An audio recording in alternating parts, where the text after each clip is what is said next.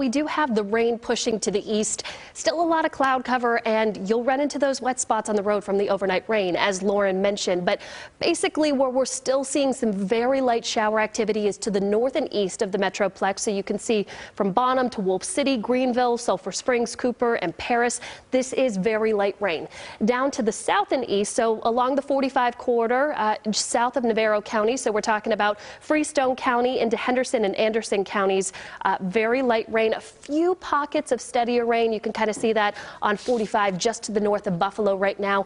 This is also generally where we're seeing some patchy fog, but not dense fog like what we had yesterday. There are no dense fog advisories. We don't have to worry about freezing fog advisories. Stephenville right now reporting in with a half mile of visibility, but we don't have a dense fog advisory there. That's the one spot where there's a little bit of an issue with that fog going on.